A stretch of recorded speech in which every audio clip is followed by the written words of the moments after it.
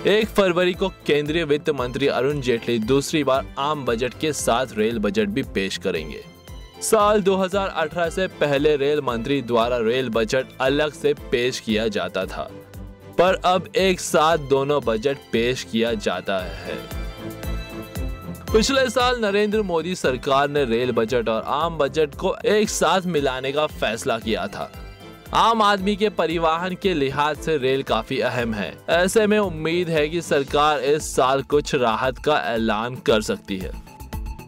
लोगों का मानना यह भी है कि रेल मंत्री पीयूष गोयल को यात्रियों की सुरक्षा और बुनियादी सेवाओं पर फोकस करने की ज़रूरत है।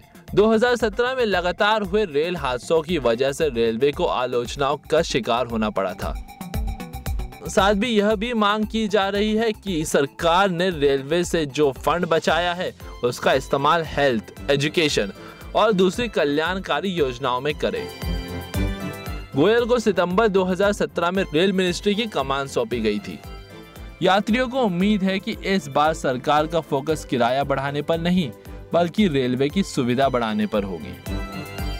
लोगों का यह भी कहना है कि रेल किराए में किसी भी तरह की बढ़ोतरी नहीं होनी चाहिए, बल्कि किराए में कटौती की जानी चाहिए। तब तो यह बजट आम लोगों के लिए अच्छा साबित होगा। वहीं कुछ महिलाओं का कहना है कि ट्रेन में महिला सुरक्षा कर्मियों की ज़्यादा संख्या में तैनाती होनी चाहिए, और महिलाओं के लिए कुछ अलग सुविधा भी इस बजट के ज़रिए होनी चाहिए। सुरक्षा सबसे बड़ा मुद्दा है।